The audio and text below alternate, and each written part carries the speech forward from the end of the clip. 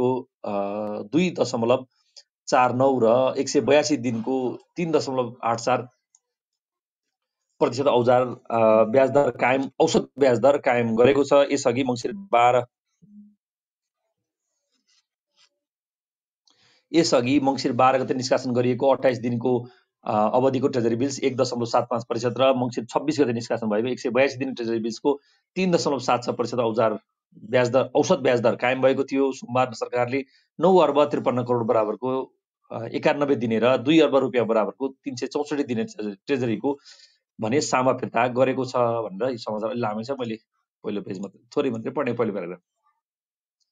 प्रतिस्पर्धाबाट टिआइएको भूमिस्थ प्रबन्ध सेवा चर्चा मात्रै भन्ने कुरा रहेछ। भूमिस्थ प्रबन्ध सेवाको जिम्मा प्रतिस्पर्धाबाट छानिएको कम्पनीलाई दिने बारे कुनै निर्णय नगरेको संस्कृति पर्यटन तथा नागरिक उड्डयन मन्त्रालयको भनाइले प्रतिस्पर्धाको कुरा फेरि चर्चामै सीमित रहने देखिएको छ भनिएको छ। समाचार अगाडि बढ्छ। नेपाल नागरिक उड्डयन प्राधिकरणले मङ्सिर पन्ध्र गते एक सूचना जारी गरी त्रिभुवन अन्तर्राष्ट्रिय विमानस्थल टिआइएमा भूमिस्थ प्रबन्ध सेवा ग्राउन्ड ह्यान्डलिङ सर्भिस प्रतिस्पर्धाबाट गराउने बताएपछि यो विषय फेरि एकपटक चर्चामा आएको छ। सोमबार प्रतिनिधि सभा अन्तर्गतको अन्तर्राष्ट्रिय सम्बन्ध र पर्यटन समितिमा नेपाल वायु सेवा निगमले गर्दै आएको भूमिस्थ प्रबन्ध सेवाका विषयमा सांसदहरूले प्रश्न उठाएका थिए।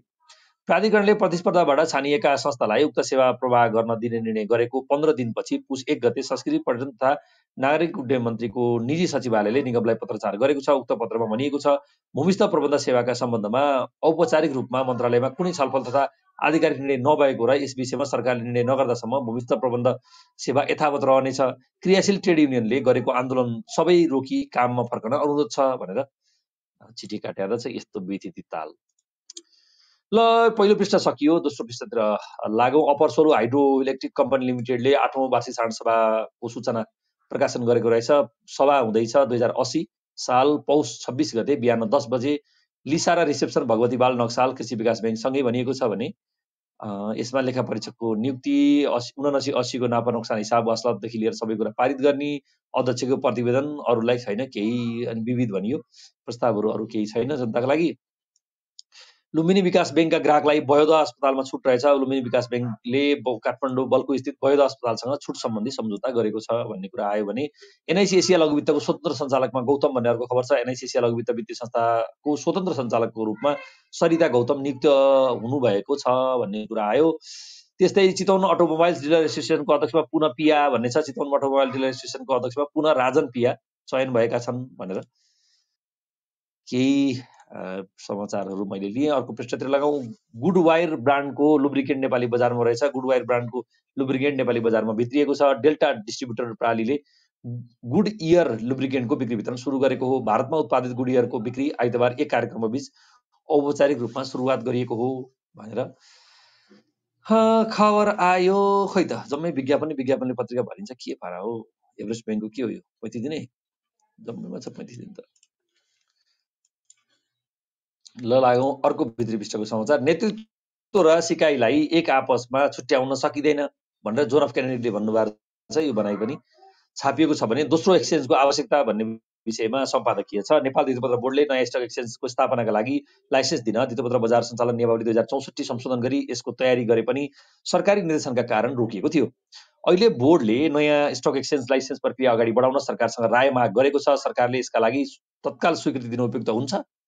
अर्थ समितिले सर्वोच्च अदालतले फैसला गरिसकेको विषय सरकारले रोक्न नहुने निष्कर्ष निकालेको छ। यसले बोर्डले मन्त्री परिषदको बैठकले निर्देशन नभई प्रक्रिया अगाडि बढाउन मिल्ने नमिल्ने विषयमा अर्थको राय मागेको हो। सामान्यतया सरकारले आफैले एक्सचेन्ज सञ्चालन नगर्ने र सञ्चालन गरे पनि तिनले उच्च खालको सेवा दिने भएकाले खासै समस्या देखिँदैन। तर नेपालमा भने स्टक एक्सचेन्ज नेप्सेले राम्ररी काम गर्न नसक्दा यसका यसको आलोचना भइरहेको छ। नेप्सेले लिने शुल्क महँगो मात्र होइन। कहिले सर्भरमा समस्या आउने त कहिले उसको वेबसाइटमै समस्या आउने गरेको छ। बेला बेलामा कारोबार नै रोक्का हुने गरेको छ। प्रतिस्पर्धा नहुँदा नै नेप्सेले आफूलाई सुधार गर्नको गर्न चासो नदिएको आरोप छ। यसले यस त्यसैले यसलाई निजीकरण गर्नुपर्ने आवाज उठेको छ। तर यसलाई निजीकरण गर्न पनि सरकार अनिच्छुक देखिन्छ। यदि यसलाई निजीकरण गर्न नगर्ने हो भने निजी क्षेत्रबाट अर्को स्टक एक्सचेन्ज स्थापना गर्न ढिलाइ गर्नु हुँदैन लो आएछ यहाँ पनि खाम। खाम आएछ सम्पादकीय छापिएछ भनौँ भने रिसाउलान् फेरि के भन्नु? गाह्रो छ जिन्दगीमा। अतिसम्म हुँदैन भन्ने सम्पादकीय आज चाहिँ हुन्छ भनेर लेखेछन्। निर्यात प्रवर्धन पहलका आयाम भनेर परिमाण मूल्य गुणस्तर र आपूर्ति समयमा ध्यान दिन आवश्यक भन्ने विषयमा कृष्णराज बजगाईको लेख छ। यो लामै लेख्छ यो आयात निर्यात सम्बन्धी। सिमेन्टको मूल्यमा काटलिङ भन्ने एउटा टिप्पणी रहेछ। नेपाल निर्माण व्यवसायी महासङ्घले सिमेन्ट उद्योगहरूले काटलिङ गरेर सिमेन्टको मूल्य प्रति बोरा एक सय बढाएको आरोप लगाएको छ। पूर्वाधार निर्माणको सिजन सुरु भएसँगै निर्माण सिमेन्टको मूल्य बढाउँदा निर्माण व्यवसायी मर्कामा पर्ने महासङ्घको भनाइ छ। ल व्यवसायले तिर्ने हो र भने जिन्दगीमा के होला ताल? ग्राहकले तिरिहाल्छ नि। अर्कासम्म सिद्धि कौडिया मूल्य चाहियो। यस्तो तालले हुन्छ। माडीको शमशेर गढीमा बढ्दै पर्यटक भन्ने अर्को खबर रहेछ। पछिल्लो समयमा दैनिक चालिसदेखि पचासजनाले मन्दिर तथा गढी क्षेत्रको अवलोकन गर्ने गरेको चापागाईले बताए। त्यहाँ पनि चापागाई रहेछ चापागाईले खाए देश। विज्ञापन नै विज्ञापनले भरिएको छ। विज्ञापन नोटिसहरू छ कि?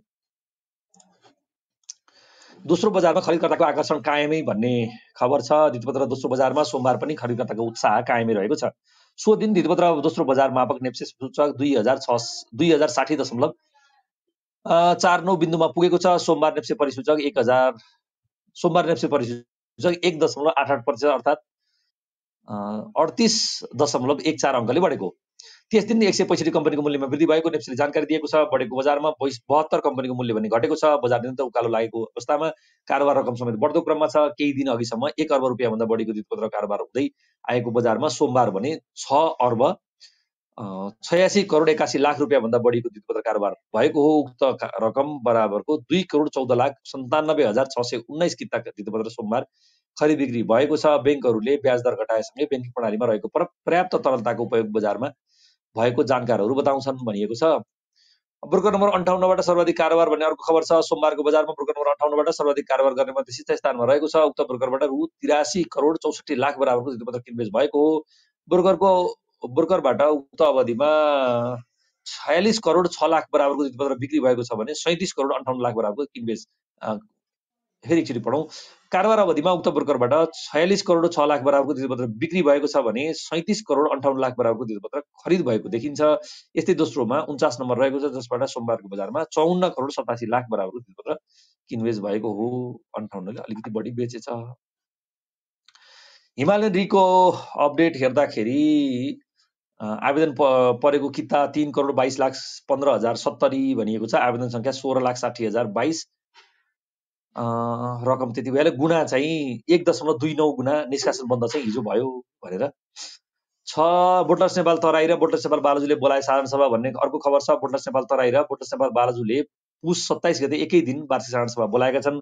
बोटलस नेपाल तराई र सोल्टी होटेल बोटलस नेपाल तराईले सोल्टी होटेल तालचल काठमाडौँमा अपरान्न बाह्र बजे र बोटलस नेपाल बालजुले पनि सोल्टी होटेलमै अपरान्न चार बजे सभा गर्ने निर्णय गरेको हो। बोटस नेपाल बालाजुले सभा मार्फत गत आर्थिक वर्षको प्रतिवेदन सहित पारित गर्नुका साथै चालु आर्थिक वर्षको लागि देख परीक्षा नियुक्तिको विषय टुङ्ग्याउनेछ। भन्ने कुरा सँगसँगै अब उसका बोनस डिभिडेन्डहरू पनि पारित गर्ने कुरो छ।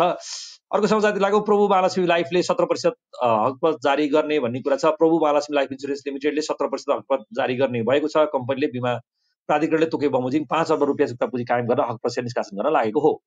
पुस एक गते बसेको कम्पनीको सञ्चालन समितिको बैठकले हाल कायम जुक्ता पुँजीको चार अर्ब उन्तिस करोड साठी लाख रुपियाँको आधारमा सत्र प्रतिशत जारी गर्ने निर्णय गरेको हो। प्रस्तावित हक नेपाल बिमा प्राधिकरणको सैद्धान्तिक स्वीकृतिपछि आगामी सभाबाट पारित हुनेछ। त्यसपछि द्वितपत्र बोर्डबाट निष्कासन प्रक्रिया अघि बढ्नेछ भन्ने कुरा आयो। जीवन विकास लघु वित्तले प्रस्ताव गरे लाभांश भन्ने अर्को खबर छ। लघु जीवन विकास लघु वित्त वित्तीय संस्था लिमिटेडले लाभांश प्रस्ताव गरेको छ। पुस एक गते बसेको कम्पनी समितिको बैठकले हाल कायम पुँजी पुँजी एक अर्ब अठार करोड बिस लाख चौतिस हजार रुपियाँको आधारमा कुल चौध दशमलव सात तिन छ नौ प्रतिशत लाभांश वितरण गर्ने प्रस्ताव गरेको हो। कुल लाभांश चौध प्रतिशत बोनस सेयर र कर्पोरेसनको लागि शून्य दशमलव सात तिन छ नौ प्रतिशत नगद लाभांश छ प्रस्तावित लाभांश नेपाल राष्ट्र ब्याङ्कको स्वीकृतिपछि कम्पनीको आगामी वार्षिक सभाबाट पारित भएपछि वितरण हुनेछ भन्ने कुराहरू छ। इम्प्रेसन अफ इन्ट्रेस्ट भनेर कोका कोलाले छापेर छ। के हो इम्प्रेसन अफ इन्ट्रेस्ट इओआई अङ्ग्रेजी बुझ्ने भन्नु होला यो कोका कोलाले छापेर छ। सगरमाथा जलविद्युत कम्पनी लिमिटेडको तेस्रो वार्षिक साढे सभा सम्बन्धी सूचना आएको रहेछ। सभा हुँदैछ कुण्डलिनी दरबार ब्याङ्कट चण्डोल काठमाडौँ मिति दुई हजार अस्सी नौ महिना पच्चिस गते अपराह एक बजे। त्यसपछि के के हुँदैछ त भन्दा? असी असी एकासीको लेखा परीक्षण नियुक्ति गर्ने रहेछ उनासी असीको प्रतिवेदन पारित गर्ने रहेछ सञ्चाल समितिको अध्यक्षज्यूले प्रतिवेदन पारित गर्ने लास्टमा जनतालाई केही छैन। केही छ त? एक बराबर एकको अनुपातमा हक प्रतिशत जारी गर्ने सम्बन्धी विशेष प्रस्ताव पारित गर्ने भन्ने भनिएको रहेछ। अरू जनतालाई बोनस सोनस केही छैन। अब लागौँ अर्को खबरतिर। यो के हो यो? हिमालयन डिस्टिलरी लिमिटेड वीरगञ्ज महानगरपालिका भनेर पुरै पेज भ्याएको रहेछ। यो चाहिँ सार समाज सम्बन्धी सूचना रहेछ। यसमा चाहिँ अब के के छ? अस्तिका बोनसहरू सबै आउने कुरा भइहाले। त्यो पारित गर्ने। यो अडिटेड ब्यालेन्स सिट पनि छापिएको रहेछ यो हिमालयन डिस्टिलरीको। पढ्नुलाई अन्तिम पृष्ठतिर लागौँ तोरी खेतीमा चितवनका किसानको आकर्षण भनेर। खबर छ यो चितवनको खबर हो। तोरी खेती गर्ने किसान बढ्न थालेका छन् जिल्लामा। तोरी खेतीको क्षेत्रफलसँगै उत्पादन पनि बढ्न थालेको गहुँ र तोरीको सिजन एकै समयमा परे पनि तोरीमा तुलनात्मक रूपमा खर्च कम र आम्दानी बढी हुने भएकोले यसको खेतीमा किसान आकर्षित हुन थालेका हुन् भनिएको छ। त्यहाँको ठाउँको नाम नै तोरीखेत भन्ने छ।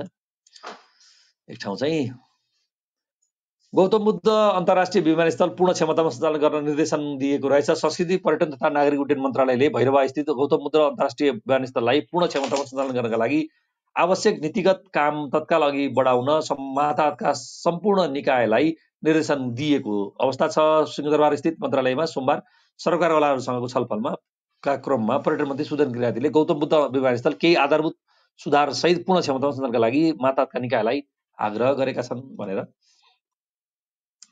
मर्स्याङ्दी जलविद्युत केन्द्रद्वारा जग्गा अधिग्रहण भन्ने अर्को खबर रहेछ। तनहुको आबु खैरिनी गाउँपालिका दुई एक्लै फाँटी स्थित मर्स्याङ्दी जलविद्युत केन्द्रले बाँधको किनारामा रहेका नौ रोपनी भन्दा बढी जग्गा अधिग्रहण गरेको छ। उनसत्तरी मेगावाट विद्युत उत्पादन क्षमता रहेको उक्त आयोजनाको बाँधले यस क्षेत्रका बस्ती डुबान र खटानमा परेपछि जग्गा अधिग्रहण गरी मुआवजा दिन सुरु गरिएको हो। केन्द्रले नौ रोपनी दस आना दुई पैसा तिन दाम जग्गा अधिग्रहण गरी मुआवजा वितरण गर्न थालेको केन्द्रका प्रमुख पशुपति गौतमले जानकारी दिएका छन्। मानवीय क्षति हुने उच्च जोखिम देखिएकाले ठाउँका सर्वसाधारणले मुआवजा दिएर सुरक्षित स्थानमा स्थानान्तरण गर्न माग गर्दै आएकोमा अहिले उनीहरूको माग पुरा भएको छ।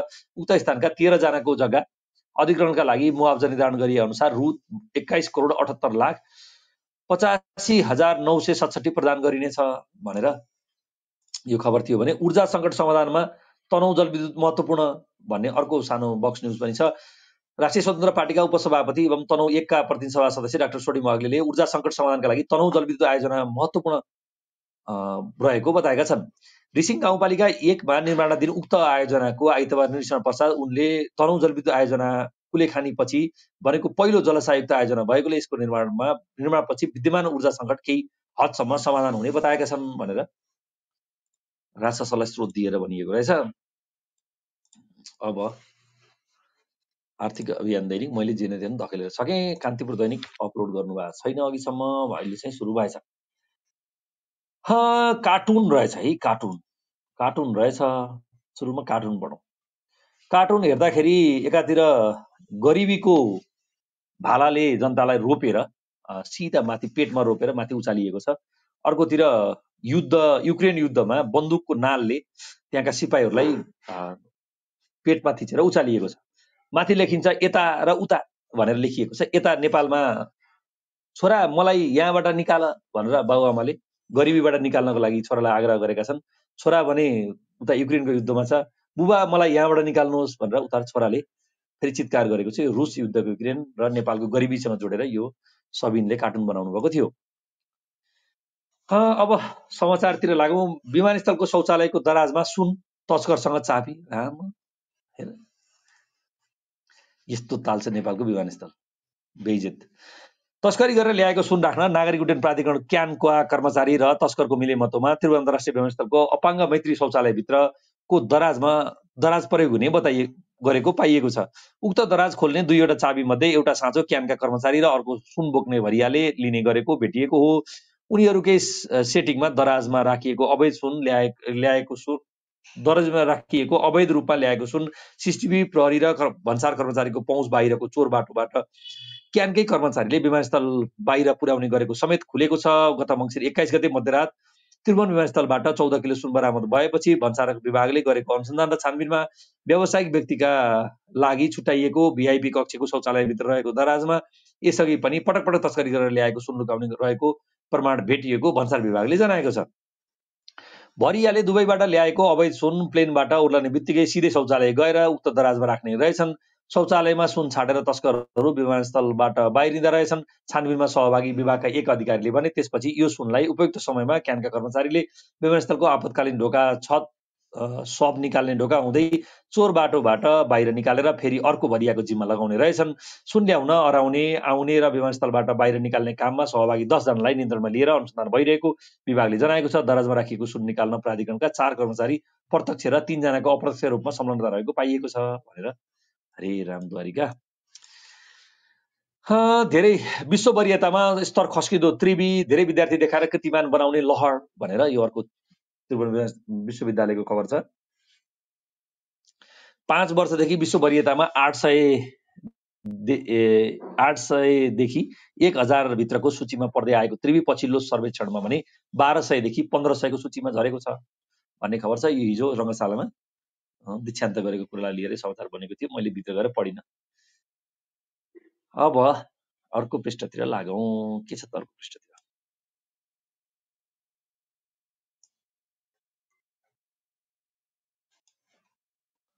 त्यहाँ गरेर आवाज आयो कोही आउन खोज्नु भएको कि? अरुणजी तपाईँ हुनुहुन्छ भने तान्नुहोस् न म यता कम्प्युटरतिर छु।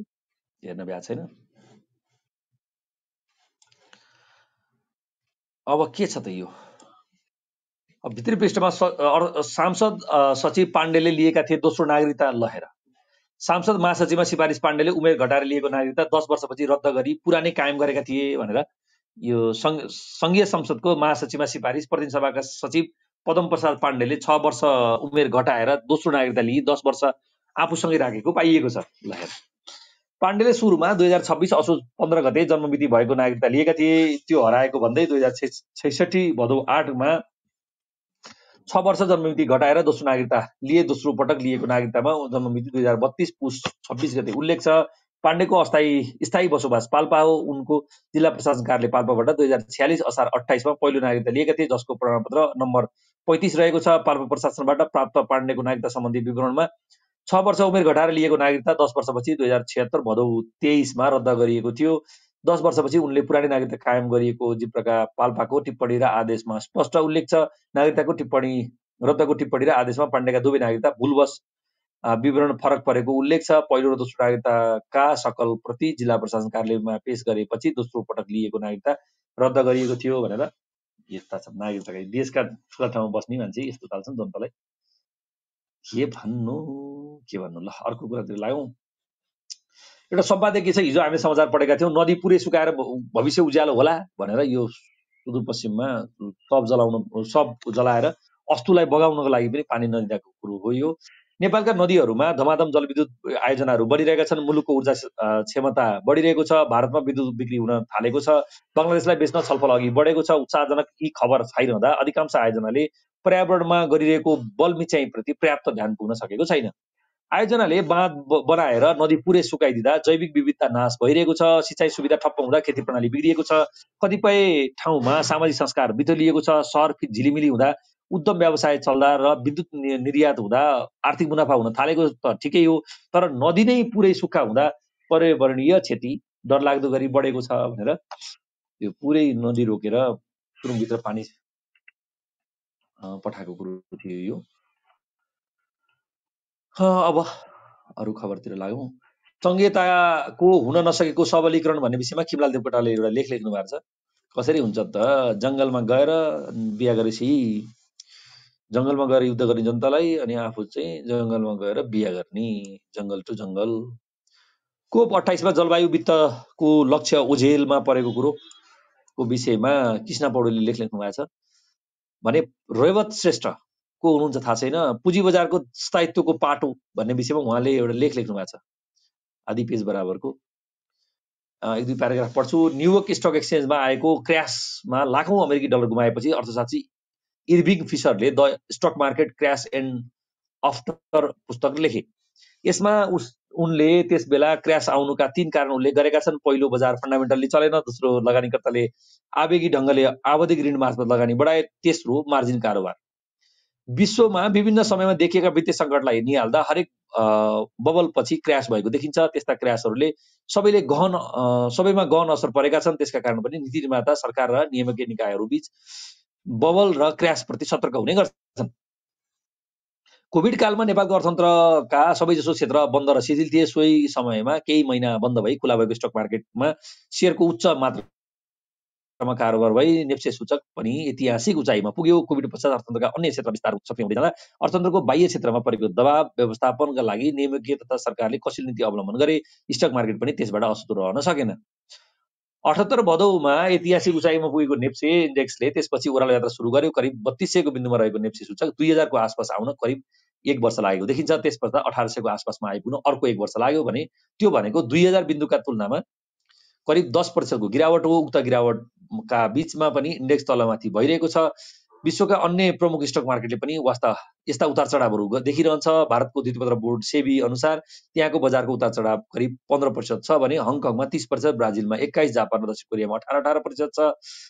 यस्ता युएस नास्कादामा यसको उतार चढाव तिस प्रतिशत देखिन्छ। सन् दुई हजार बिस एक्काइसमा हङकङ स्टक मार्केटको उतार चढाव एक्काइस प्रतिशतसम्म पुगेको थियो।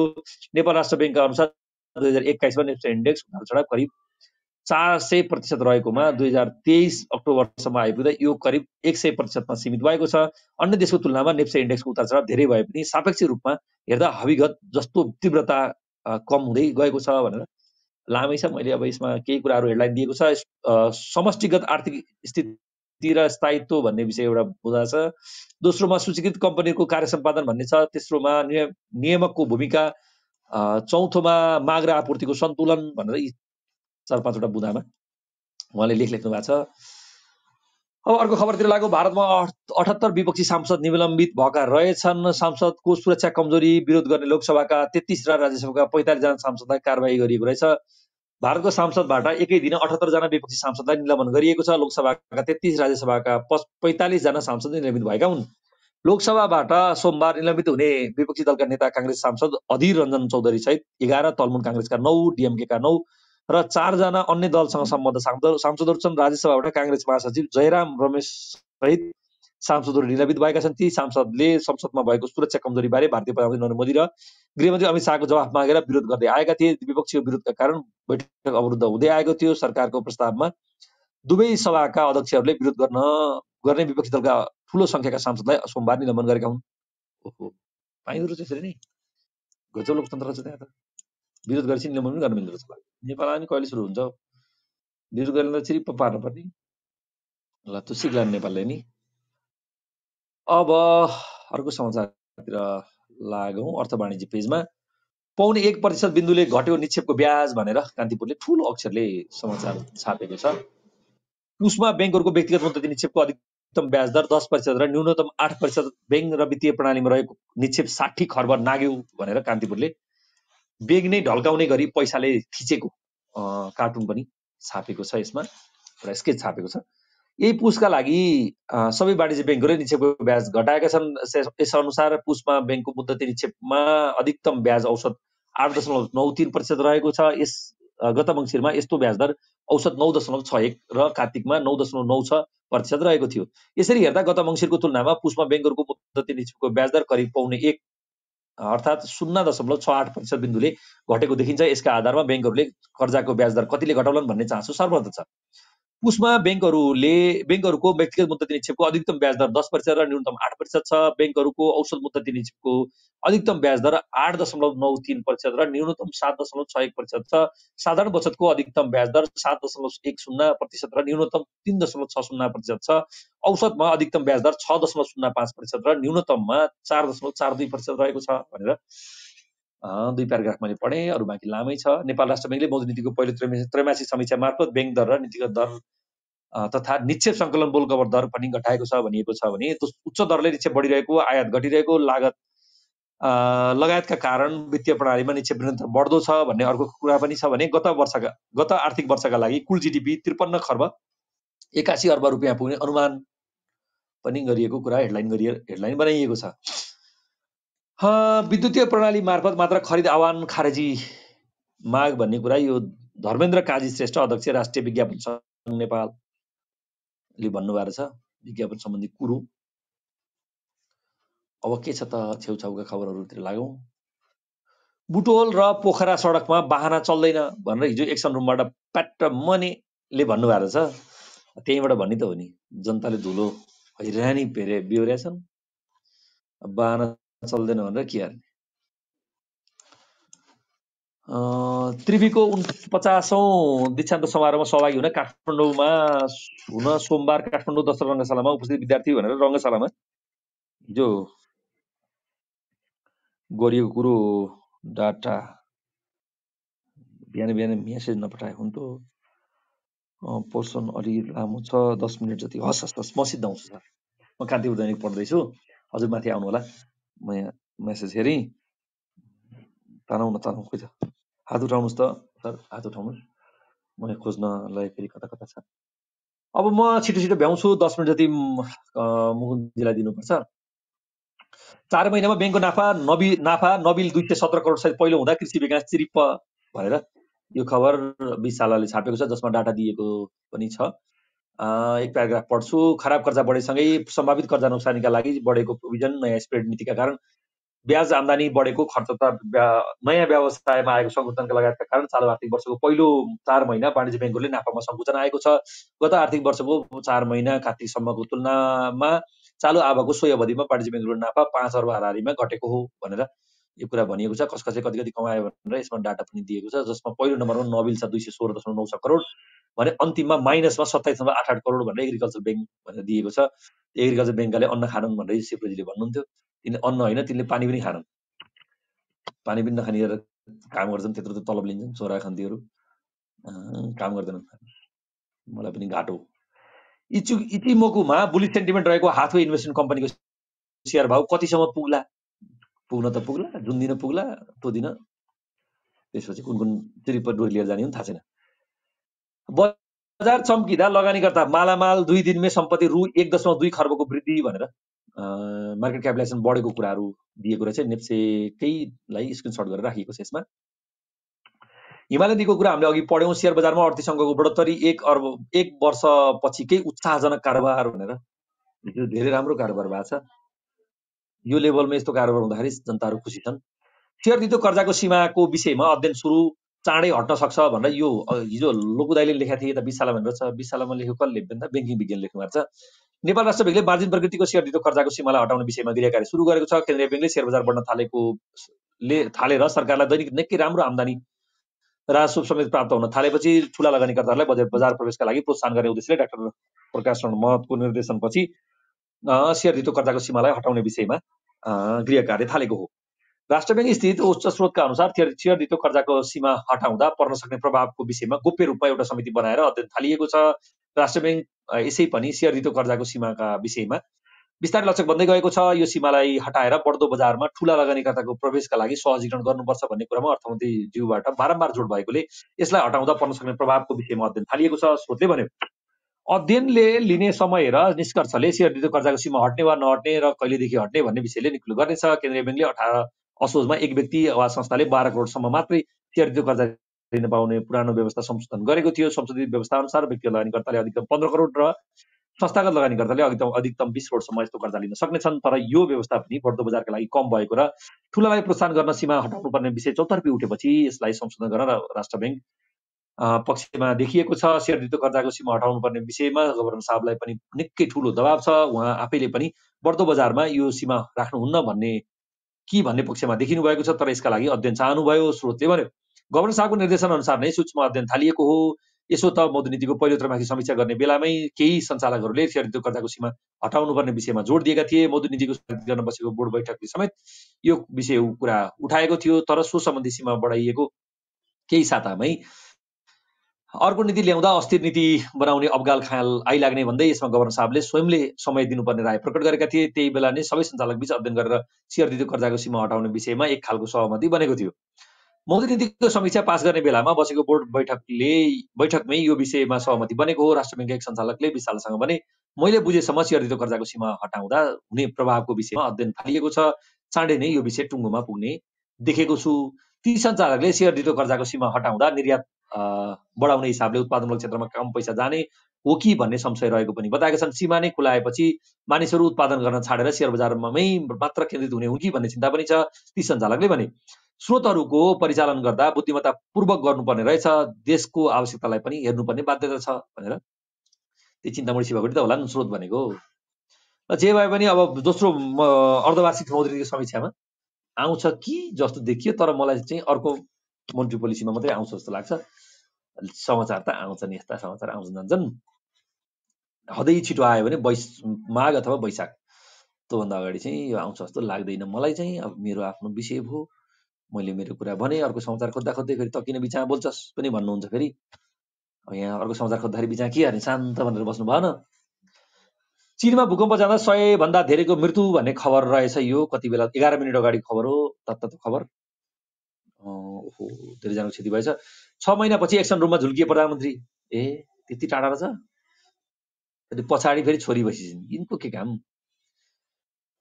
त्यसपछि दिक्षान्तका नाममा शक्ति प्रदर्शन गर्ने कि त्रिवीको गुणस्तर सुधार्ने भन्ने विषयमा अनलाइन खबरले पनि त्रिवीलाई झटार हाने रहेछ। र त्यो त्रिवीको दीक्षान्तमा सहभागीहरूको केही कुराहरू पनि रहेछ आशावादी गोल्ड मेडलिस्ट सबै विदेशीय विदेशीय देश बस्ने बस्न लायक कसले बनाउने भनेर पनि सोधिएको रहेछ प्रश्न। दीक्षान्तमा पनि दुखी यी गोल्ड मेडलिस्ट र अरू विद्यार्थी भनेर दुईजनाले हाँसेको फोटो अनलाइन खबरले छापेको रहेछ। ललितपुर महानगरमा सुरु भयो स्वास्थ्य बिमा भनेर यो हिजो एउटा कार्यक्रमका बिच। यो कुरा सुरु गरिएछ। बालिनले आफ्नो भाषण ठोकेछन्। प्रधानमन्त्री बोल्ने बेला उठेर हिँडेछन्। त्यो समाचार पनि थियो। अब अहिले फ्याट्टा भेटियो भने म पढ्छु। कतै कतै। प्रधानमन्त्रीले चाहिँ शेखरले भने प्रधानमन्त्रीज्यू तपाईँको रिपोर्ट कार्ड चाहियो। माग लाग्छ पख न पुसा नमाग। मागा माग्ने नि। किन पिर गर्नु? मागमा माग्नुपर्छ। सोल्टी होटेलको लाभांश दावी गर्न कहिलेसम्म बन्ने सियर धनी भन्ने अर्को खबर बिएफआईतिर लागौँ। अरूलाई के गाली गर्नु? सोल्टी होटेलको लाभांश प्रस्ताव पारित गर्नका लागि पुस छब्बिस गते वार्षिक चाड सभा बोलाएको छ। नेपाल सभा नेपाल प्रज्ञा प्रतिष्ठान कमलादी काठमाडौँमा बिहान दस तिस बजे सुरु हुनेछ। सोल्टी र साँड सभा तथा लाभांश प्रयोजनका लागि बिहिबार पुस पाँच गते बुक क्लोज गर्ने भएको छ। पाँच गते भने कहिले हो पर्सि सोल्टी होटेलले गत वर्षको नाफाबाट एकतिस दशमलव पाँच सात आठ प्रतिशत लाभांश दिने घोषणा गरेको छ जसमा पाँच प्रतिशत बोनस सेयर र छब्बिस दशमलव पाँच सात आठ प्रतिशत नगद लाभांश रहेको छ भनेर यो खबर पनि थियो। मनोकामना इन्जिनियरिङको कस्तो छ वित्तीय अवस्था भनेर समाचार छापेको रहेछ नेपाली पैसाले। मैले त्यसलाई हेडलाइन मात्रै पढेँ सेयर बजार बढ्दा सरकारलाई पनि फाइदा। एक महिनामै लगानीकर्तातिर साढे तिस करोड बराबरको पुँजीगत लाभ कर भनेर यो खबर पनि छापेको रहेछ नेपाली पैसाले। ब्रोकरहरूको नयाँ टिएमएस परीक्षण गर्दा भयो फेल। पुनः टेस्ट गरेर मात्र सञ्चालन ल्याउन पाइने भनेर अर्को खबर टिएमएस सम्बन्धी खबर रहेछ। वाणिज्य ब्याङ्कहरूले चार महिनामै कमाए बिस अर्ब बहत्तर करोड नाफा धेरै कमाउने कुन भनेर पनि समाचार छ। अघि मैले केही केही शीर्षकहरू पढेँ। जाडोमा किन लाग्छ धेरै रुगाखोकी कसरी जोगिने भन्ने विषयमा डाक्टर विजय खरेलले भिडियो समाचार बनाउनु भएको छ यो सेतो पार्टीमा छ पढ्नु होला मलाई पनि रुखा साह्रै लाग्छ त्यही भिटामिन सी खाने भने होला। अब सकियो प्रस्तावित छ न्यायाधीशको सुनवाई बुधबार निर्णय हुने भन्ने अर्को खबर पनि सेतो पार्टीमा छापिएको छ। तिर्खाएको गाग्री लिएर सडकमा कहिले आउँछ मेलम्चीको पानी? भनेर मेलम्चीको विषयमा पछिल्लो पटक सबैजना आन्दोलित छन्। जनताहरू तनाव झगडा र मायाको सिलसिला त हो जिन्दगी भनेर सँगसँगै जिन्दगी भन्ने विषयमा खगेन्द्र सङ्ग्रोलाको पारिवारिक चिज बिनु सुवेदीले लेख्नु भएको छ। यो सेतो पार्टीमा छ अब लागौँ कता? भन्दा बिचमा बिच पार्टीतिर लागौँ। फाइनेन्स कम्पनीको चार महिना। नाफा कमाउने भन्दा घाटा हुने धेरै कसले कति कमाए भन्ने कुरा छ अब समाचार लामै छ। प्रोग्रेसिभ माइनसमा रहेछ समृद्धि फाइनेन्स माइनसमा छ सी मर्चेन्ट पनि माइनसमै छ जिएमबिएफएल पनि माइनसमा रहेछ पोखरा फाइनेन्स माइनसमा गुडल फाइनेन्स माइनसमा नेपाल फाइनेन्स माइनसमा बिएफ बेस्ट फाइनेन्स माइनसमा सेन्ट्रल फाइनेन्स माइनसमा नौवटा फाइनेन्स चाहिँ चिरिप्प गएछन्। भने दसौँ नम्बरमा अलिकति कमाएको श्री फाइनेन्स रहेछ त्यो एघार नम्बर जानकीले कमाएको रहेछ मुक्ति मल्टी भने के हो? मल्टिपर्पोज मल्टिपर्पोजले कमाएछ एनएसएमएल भन्ने कमाएको रहेछ अलिकति। पोजिटिभमै छ आइसिएफसी पोजिटिभमा छ रिलायन्स फाइनेन्स पनि पोजिटिभमै छ गोर्खा फाइनेन्स पोजिटिभ छ भने सत्रौँ नम्बरमा परेको मन्जुश्री फाइनेन्स चाहिँ एक सय तेह्र दशमलव नौ दुई करोड नौ दुई मिलियनका साथ कमाएको रहेछ। सत्रौँ नम्बरमा पर्दा सत्रौँ नम्बरमा राखेको छ पोजिटिभलाई चाहिँ मन्जुश्रीले अलिक धेरै कमाएको अरू बाँकी चिरिप्प गएको। यो थियो मैले पढेको फाइनेन्सतिर भने विकास ब्याङ्कको पनि कुरो छ यसमा। चार महिनामा विकास ब्याङ्कको नाफा एक अर्ब बैसठी करोड चार करोड चारवटा घाटामा सूचीसहित भनिएको छ। सूची मात्रै पढ्छु अब लामो समाचार के पढ्नु? सबैभन्दा धेरै कमाउनेमा मुक्तिनाथ विकास ब्याङ्क छ दोस्रोमा साइन तेस्रोमा गरिमा चौथोमा लुम्बिनी विकास ब्याङ्क परेको छ सरहरू। भन्थ्यो अविनाश भाइले। पाँचौँमा महालक्ष्मी छैटौँमा कामना सेवा सातौँमा ज्योति आठौँमा साङ्ग्रिला नौमा कर्णाली दसौँमा मैत्री। एघारौँ नम्बरमा ग्रिन डेभलपमेन्ट ब्याङ्क बाह्रौँ नम्बरमा सिन्धु विकास ब्याङ्क तेह्रमा कर्पोरेट छ भने चौधमा चिरिप्प माइनसमा छ नारायणी विकास ब्याङ्क तेह्र नम्बरसम्म पोजिटिभमा रहेछन् कर्पोरेटसम्म। चौध नम्बरमा माइनस छ नारायणी पन्ध्रौँ नम्बरमा माइनसमा परेको के हो एलएपिए सालापा भने के हो मैले ठ्याक्कै पढ्न जानिनँ। सोह्र पनि माइनसमा छ सप्तकोशी डेभलपमेन्ट ब्याङ्क पनि माइनसमा छ भने एक्सल डेभलपमेन्ट पनि सबभन्दा धेरै माइनसमा रहेको कुराहरू मैले जानकारी गराएँ सरहरू। यो सँगै विकास ब्याङ्कको पनि सकियो कमर्सियल ब्याङ्कको त मैले अघि पढिहालेँ। अब कमर्सियल ब्याङ्क पनि पढिदिउँ अहिले नबिल पहिलो भन्दा त हेडलाइन पढियो सूची त पढौँ न होइन सबै पढेपछि। सबैभन्दा धेरै कमाउने नबिल एक नम्बरमा दुई नम्बरमा ग्लोबल तिन नम्बरमा एनआइएमबी चार नम्बरमा प्राइम पाँच नम्बरमा हिमालयन ब्याङ्क छ नम्बरमा एनआइसी एसिया सात नम्बरमा एनएमबी आठ नम्बरमा आरबिबी नौ नम्बरमा इबिएल। दस नम्बरमा प्रभु पाँच सा एघार नम्बरमा एससिबी बाह्र नम्बरमा कुमारी तेह्र नम्बरमा सानीमा चौध नम्बरमा माछा पुछ्रे पन्ध्र नम्बरमा एनबिएल सोह्र नम्बरमा एनएसबिआई नेपाल एसबिआई सत्र नम्बरमा सिटिजन अठार नम्बर लक्ष्मी उन्नाइस नम्बरमा एसबिएल दस बिस नम्बर होला सायद एडिबिएल माइनसमा। एडिबिएल चाहिँ गयो। हेर्नुहोस् नबिल एक्काइस उनसत्तरी पोइन्ट छ छ मिलियन छ भने। एडिबिएल चाहिँ माइनस दुई सय अठहत्तर पोइन्ट चौरासी मिलियन छ। यस्तो ताल छ हेर्नुहोस् त। एडिबिएलको आज चिरिप्प पार्नु पऱ्यो भएन यो तालले यस्तो तालले पैसा कमाएर हुन्छ। जनताले दिन त कहाँ कहाँ माइनसमा ब्यालेन्स सिट प्रकाशन गर्छन्। के अरे हिसाब किताब निकाल्छन् चोरा खन्तीहरू भनेर भन्नु पर्यो। ल बिस साठी पढेर सकियो। मैले चाँडो सक्नुहुन्छ तिन मिनट भइसकेछ। अब क्लिक मान्डु पढेर सक्छु। अन्डरवर्ल्ड डन दाउदको सम्पत्ति कति भनिएको छ? दाउद चाहिँ हिजो सिरिप भएछन्। अब एउटा डर भएन। हिमालय रिको आइपिओमा तिन करोड बाइस लाख किता माग गर्दै साढे सोह्र लाखले दिए आवेदन भन्ने कुरा छ। दुई एकातिर शेखर गोल्छा र अर्कोतिर। यिनै शङ्कर ग्रुपका साउजीको फोटो पनि छ त्यसमा। अब त्यो समाचारसँगै छयासी हजार डलर कस कसरी तिर्ने भन्ने निर्णय नहुँदा कन्ट्री ढिलाइ भनेर दाता खोज्दै होला चोराखन्तीहरू किसान भन्छन् प्रति क्विन्टल उखुलाई सात सय पचास देऊ। सरकारको प्रस्ताव छ छ सय पैँतिसमै चित्त बुझाउ भनेर किसानको उखुको कुरो। सन् दुई हजार तिससम्म ठुला विद्युतीय सवारी साधन बिक्री साठी प्रतिशत पुर्याउने लक्ष्य छैन पूर्वाधारको तयारी भनेर छापिएको छ भने एआईको प्रयोगले केही वर्षभित्रै करोडौँको जागिर गुमाउने कसलाई लाभ कसलाई हानि भनेर जागिरीहरूको अवस्था चाहिँ अब धेरै टाढा छैन भनेर भनिएको छ एआईले गर्दाखेरि। हिजोपत्र बोर्डका अध्यक्ष हमाल विरुद्ध पाँच आरोप लगाउँदै अख्तियारीमा उजुरी दिएको रहेछ। अब यिनले यिनलाई चाहिँ नदोराए हुन्थ्यो भन्ने कुरा हाम्रो हो। कोही कोही चाहिँ महानायक भनेर घोषणा गरेका छन् चोराखन्तीहरू हेर्नु सकिएन। चार गुणाले बढाइयो वैदेशिक रोजगारीमा जाने श्रमिकको तालिम शुल्क भनेर यो खबर पनि नयाँ पत्रिकामा छापिएको छ। विश्वविद्यालयमा भागभन्डा अन्त्य गर्ने प्रधानमन्त्रीको घोषणा तिम्रो घोषणा तिमीसँगै सीमित छ खल्ले मान्नी भनेर हिजो दीक्षान्त समारोह साधु र महिला। एउटा प्रसङ्ग सकेर मैले मुकुन्जीलाई ह्यान्डओभर गर्छु पचपन्नमा सक्छु भनेको अझै सकिएन एक वृद्ध साधुको आश्रममा एक वृद्ध साधुको आश्रममा एक युवा उमेरकी महिला पुगिन् र आफ्नो दुःख यसो सुनाउन थाली। उनले भनिन् बाबा मेरा सैनिक पति अहिले मलाई खुब पहिले मलाई खुब माया गर्नुहुन्थ्यो तर युद्धबाट फर्केपछि भने उहाँले पहिलेको प्रेम पुरै भुल्नुभयो। उहाँ ठिकसँग कुरा गर्न पनि सम्म पनि गर्नुहुन्न साधुले भने। यो सब युद्धको प्रभाव हो महिलाले हात जोड्दै भनिन्। हजुरसँग भएको जडीबुटीले मानिसमा पुनः प्रेम भाव जगाउन सक्छ भनेर सुनेकी छु। मलाई पनि त्यही जडीबुटी दिनु पर्यो हजुरले। महिलाको आग्रह सुनिसकेपछि साधुले केही सोचेर भने म तिमीलाई जडीबुटी त दिन त सक्छु तर त्यसका लागि मलाई एउटा सामान चाहिन्छ जुन मसँग छैन। महिलाले प्रश्न गरिन्। त्यस्तो कस्तो सामान हो? मलाई भन्नुहोस् म नै ल्याइदिन्छु। साधुले भने मलाई बाघको जुगाको एउटा रौँ चाहियो। महिला तत्काल बाघको खोजीमा निस्किन् जङ्गलको जङ्गलको भित्रभित्र पुगेर खोज्दा उनले नदीको किनारमा एउटा बाघ देखिन्। उनलाई देख्न साथ बाघ गर्जियो। गजब रहेछ त बाघको गर्जन सुनेपछि तीव्र गतिमा भागेर उनले ज्यान जोगाइन् थप केही दिनसम्म यस्ता यसरी सिलसिला जारी रहिरह्यो। महिला हिम्मत गरेर बाघको नजिक पुग्थिन् बाघ गर्जिन्थ्यो उनी डराई डराई फर्किन्थिन्। लगभग महिना दिन बित्दै बित्दा बित्दै बाघलाई महिलाको उपस्थितिको बानी पर्यो। अब त महिला बाघका लागि मासु समेत लिएर जान्थिन्। बाघ बडो स्वादले स्वाद मानेर मासु खान्थ्यो।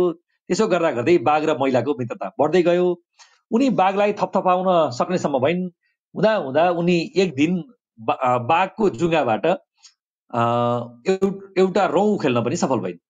रौँ हात लागेपछि उनी दौड्दै साधुको आश्रममा पुगिन् र साधुलाई रौँ हस्तान्तरण गरिन्। रौँ हात पर्न साथ साधुले उनलाई नजिकै बलिरहे बलिरहेको धुनीको आगोमा हालिदिए। महिलाले आत्तिँदै प्रश्न गरिन्। मैले यतिका दिन लगाएर ज्यान जोखिममा राखेर ल्याएको रौँ तपाईँले आगोमा हालिदिनु भयो अब मेरो जडीबुटी कसरी तयार हुन्छ? साधुले हुन्छ। ती महिलाले प्रश्न गरिन्। साधुले भने जसले हिंस्रक जङ्गली बाघलाई बसमा लिन सक्छ उसलाई आफ्नो प्रेमले जित्न सक्छ उसलाई आफ्ना पतिको मन जित्न र प्रेम पाउन कुन जडीबुटी चाहिन्छ? जाऊ जसरी बाघलाई आफ्नो मित्र बनायो त्यसै गरी पतिमा पनि प्रेम भाव जगाऊ वास्तविक जडीबुटी पाएको महसुस गरी महिला खुसी हुँदै घर फर्किन् भनेर हेर्नुहोस् जिन्दगीमा। एउटा महिलाले बाघलाई आफ्नो बसमा लिएर जुङ्गा खेल्न सफल भएको कुरा प्रसङ्ग थियो। यो नयाँ पत्रिका दैनिकमा छ। पढ्न चाहने साथीहरूले पढ्न सक्नुहुन्छ। ल मुकुन सर मैले च्याट पढ्दै गर्छु। त्यो बेलासम्म यहाँले यहाँका डाटाहरू प्रस्तुत गर्नुहोस्। मैले तिन मिनट ढिलो भयो। हस् मुकुन सर। राज सर धेरै धेरै धन्यवाद है अरू न्युज अपडेट गराइदिनु भयो। त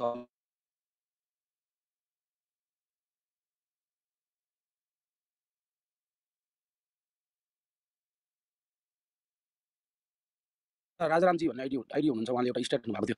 कविता पनि हुन्थ्यो। राम्रो कुराहरू लेख्नुहुन्छ। उहाँले एउटा अब त्यो एफपिओको केसमा जे हुनु भइहाल्यो अब अकाउन्टिङ इन्ट्री हेर्नु हेर्नुपर्छ हामीले भनेर लेख्नु भएको थियो। त्यसमा मैले रिप्लाई गरेको थिएँ। मेरो रिप्लाईमा चाहिँ नहेर्नु है। त्यहाँ एउटा चार्टर अकाउन्टेन्ट बन्दाम जादुगर भन्ने हो।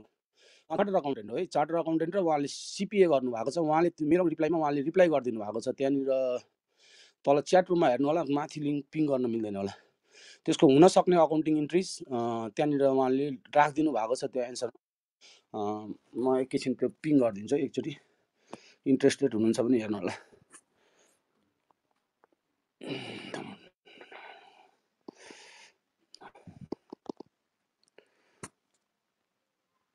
अहिले पिङ गरेको चाहिँ हजुरहरूलाई त्यो अकाउन्टिङ इन्ट्री हुन सक्ने प्रोभाबिलिटीको स्ट्याटस मैले राख्दैछु। यसपछि म तपाईँहरूलाई डेटाहरूको ऊ पिङ राखिदिन्छु ल। म चाहिँ डेटाहरू मात्र राख्छु। मलाई एनालाइसिस गर्न आउँदैन।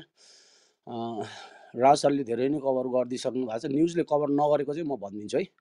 हिजो नेपाल सबैलाई थाहा छँदैछ नेपाल राष्ट्र ब्याङ्कले एबिसीको कार्तिक महिनासम्मको फाइनेन्सियल के अरे स्ट्या मन्थली स्ट्याटिस्टिक प्रकाशन गरेको छ। म अलिकति समराइज गरिदिन्छु।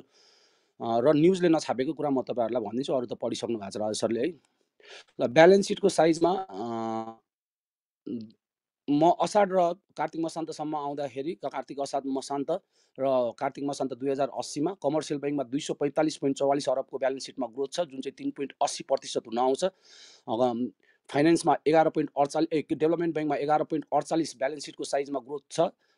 जुन चाहिँ one point seventy one percent हुन आउँछ। सी क्लासमा फाइनेन्समा एक पोइन्ट पैँतिस अरबको साइज पोजिटिभ साइज इन्क्रिज छ जुन चाहिँ जेरो पोइन्ट सतासी पर्सेन्ट हुन आउँछ। ओभरअल एबिसी एग्रिगेटमा तिन पोइन्ट चौवन्न चौवन्न प्रतिशतको वृद्धि छ जुन चाहिँ तिन दुई सौ अन्ठाउन्न पोइन्ट सत्ताइस अरबको वृद्धि छ है यो कार्तिकसम्म। जुलाई असाढ मसान्त र उसको कम्पेरिटिभ डाटा हेर्ने हो भने म एकचोटि तपाईँहरूलाई मेजर फाइनेन्सियल इन्डिकेटर्स भनिदिन्छु।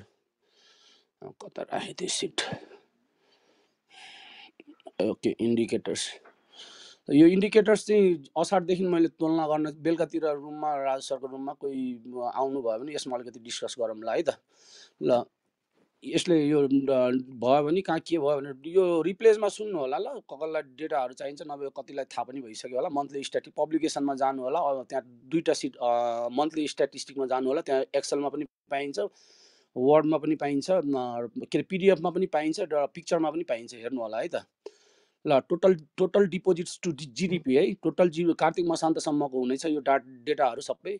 Total deposits to GDP A class ब्याङ्कको ninety seven point twelve percentage B क्लासको वान दस पोइन्ट त्रिसठी त्यस्तै गरी क्लास सीको टू पोइन्ट टुवेल्भ ओभरअल एक सौ नौ पोइन्ट अठासी प्रतिशत टोटल क्रेडिट है total loan to GDP class एमा एकासी पोइन्ट सतासी प्रतिशत क्लास बीमा आठ पोइन्ट छ्यानब्बे प्रतिशत क्लास सीमा बयासी बयासी पोइन्ट चालिस प्रतिशत ओभरअल चौरासी पोइन्ट पच्चिस प्रतिशत सिडी रेसियो कार्तिक मसान्तसम्म क्लास एमा एकासी पोइन्ट अठार प्रतिशत क्लास बीमा तिरासी पोइन्ट अडचालिस प्रतिशत क्लास सीमा अस्सी पोइन्ट त्रिपन्न प्रतिशत ओभरअल एकासी पोइन्ट अडतिस प्रतिशत fix deposits to total deposits है यो धेरै नै हाई हुँदै पो गइरहेको रहेछ ल ठिक छ fixed deposits to total deposits है क्लास एमा अन्ठाउन्न पोइन्ट यो कासा भन्छ नि करेन्ट एन्ड सेभिङ अकाउन्टमा फिक्स डिपोजिट र सेभिङ डिपोजिटको रेसियो सुन्नु होला है। इन्ट्रेस्ट बियरिङ अकाउन्ट हो त्यही भएर यो सुन् सुन्नु होला राम्रोसित। ल fix deposit to total deposit